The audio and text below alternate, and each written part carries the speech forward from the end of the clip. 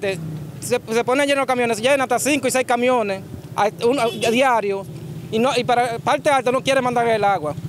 Y es- ya estamos cansados de eso. Queremos que nos manden el agua o vamos a parar los camiones aquí y no, y no vamos a dejar que ni el tanque ni man- para que te dé el agua. ¿Cuáles, comunidades por allá arriba no? Ahí está, ahí está este, lo- la- los solares parte de atrás de la planta, los chiripos y toda esa parte de arriba del club por arriba. ¿Cuántos días que No, yo, nosotros llegamos como un mes que no llega el agua. Hoy nos mandaron un chin.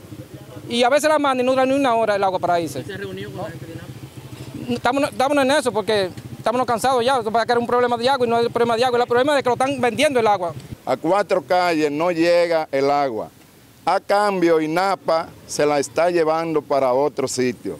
Entonces, en muchas ocasiones hemos ido a INAPA y le hemos pedido una reunión. He hablado con el ingeniero Juan Carlos y nos han dejado esperando. Este pueblo es un pueblo heroico, un pueblo luchador y bajo ninguna circunstancia vamos a permitir que se sigan burlando de este pueblo de San Francisco de Macorís, en especial de este sector Hermanas Mirabal. Los otros días, hace como un mes y medio, nosotros en un grupito vinimos con el presidente de la Junta de Vecinos, Marta, un grupito vinimos aquí, hablamos y nos dieron agua que al otro día hasta las barricas se llenaban.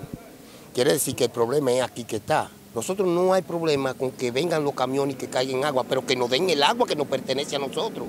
Es lo que nosotros estamos eh, pidiendo. No es que queremos hacerle daño a nadie ni nada, no, no, no. Que nos den agua al sector, hermana Mirabal, que la necesitamos. Hicimos un llamado ayer que si no nos mandaban el agua, nosotros no íbamos a dejar subir los camiones para acá. Esa gente hicieron caso omiso ante la situación.